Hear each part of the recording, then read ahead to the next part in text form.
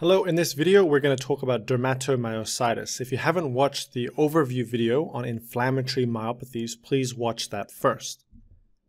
Dermatomyositis is an autoimmune disease where you have inflammation of the skin causing unique skin rashes and inflammation of the muscle, which leads to muscle weakness. Dermatomyositis is an autoimmune disease where the body produces specific types of antibodies, and the immune system attacks the muscle. To understand this autoimmune disease, we need to recap the anatomy of skeletal muscle tissue. This muscle tissue is made up of fascicles, which are made up of muscle units called muscle fibers. Each muscle fiber, in turn, are composed of myofibrils, which contain the functional unit of muscles called sarcomeres.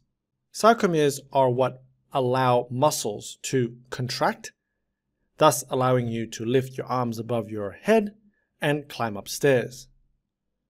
Let's focus on the pathophysiology now of dermatomyositis, the sequence of events that actually cause the immune system to cause inflammation of the muscle is not completely understood.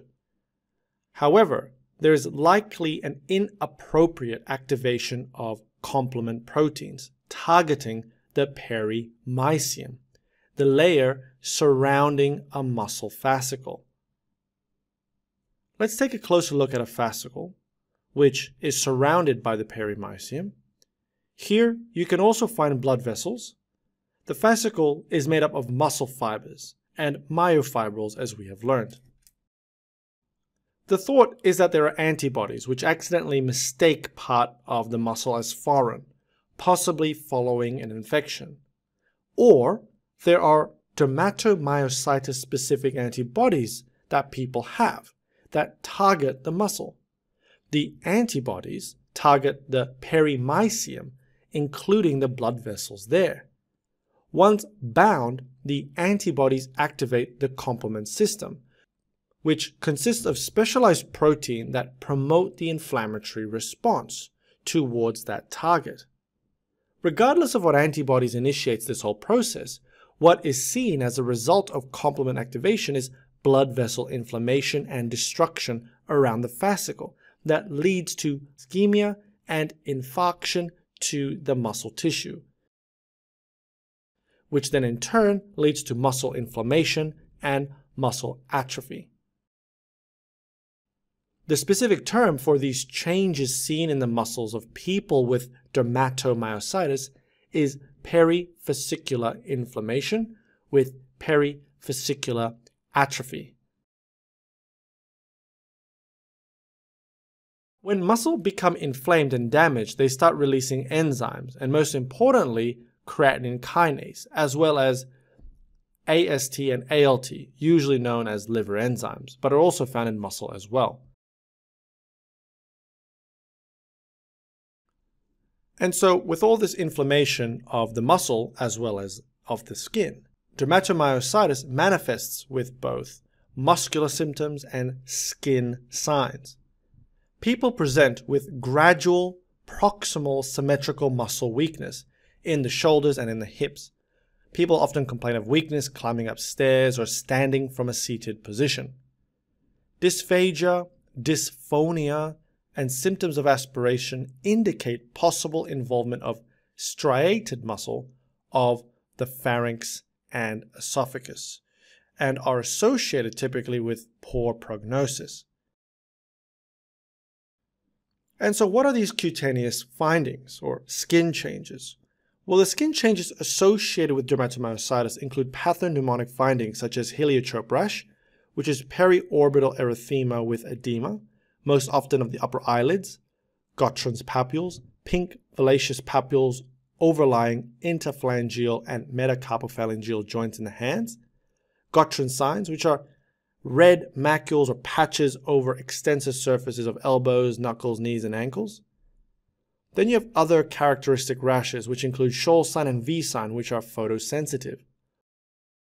Holster sign across the thigh, and you also see nail fold changes, which includes subungual erythema and dilated capillary loops. amyopathic dermatomyositis is a condition where patients have characteristic dermatomyositis rash without muscle involvement. Again, amyopathic dermatomyositis means they have classic dermatomyositis rash, but without muscle weakness. Now, there are other clinical manifestations or signs and symptoms of dermatomyositis, but are only seen in those with certain dermatomyositis-specific antibodies. These antibodies can be measured in the blood and also help with the diagnosis. So what are the dermatomyositis-specific antibodies that potentially play a key role in the pathophysiology? Well, dermatomyositis-specific antibodies include anti-MI2 anti-small ubiquitin-like modifier activating enzyme, SAE, anti-TIF1 gamma, anti-NXP2, and anti-melanoma differentiation associated protein 5, or MDA5. There are some important things to know about these different antibodies. First of all, anti-MI2 is the most frequent seen in adults. Anti-TIF and NXP are associated with malignancy, TIF specifically is strongly associated with malignancy. MDA5 is associated with interstitial lung disease. Differential diagnosis to be aware about are other inflammatory myopathies, such as anti-synthetase syndrome, which is a condition that can present with similar skin changes, but also associated with interstitial lung disease and mechanics hands. There's something called overlap myositis, which also presents with dermatomyositis skin changes, but is really associated with other rheumatological causes such as scleroderma and lupus. Here is an image of scleroderma hands called sclerodactyly. Inflammatory myopathy differentials that have no skin involvement include polymyositis, immune-mediated necrotizing myopathy, and inclusion body myositis. And here is a hand of a person with inclusion body myositis. Note muscle wasting of the hands. Other differential diagnoses include viral myopathy and thyroid-related myopathies, amongst myasthenia gravis, for example, as well. Earlier in the pathophysiology section, we looked at some investigations that we could have already ordered in inflammatory myopathies, such as a creatine kinase, AST, and ALT, which would both be elevated. The inflammatory markers CRP and ESR can be both elevated, and also importantly, ordering myositis panel to look for myositis specific antibodies. An MRI of the muscle is important and most specifically, a muscle biopsy, which is the gold standard for diagnosing and differentiating the different types.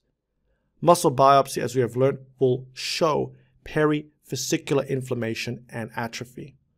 Another investigation is a skin biopsy, which can confirm features of dermatomyositis. Treatment of dermatomyositis is with glucocorticoids, and disease-modifying antirheumatic drugs can also be used, such as methotrexate or azathioprine intravenous immunoglobulins, and other immunosuppressants such as rituximab and cyclophosphamide are also used. There is a risk of flares, which can again be treated with escalated doses of glucocorticoids. In summary, dermatomyositis is an autoimmune inflammatory myopathy characterized by presence of dermatomyositis specific antibodies and muscle biopsy showing perifascicular inflammation. Treatment is with immunosuppressants.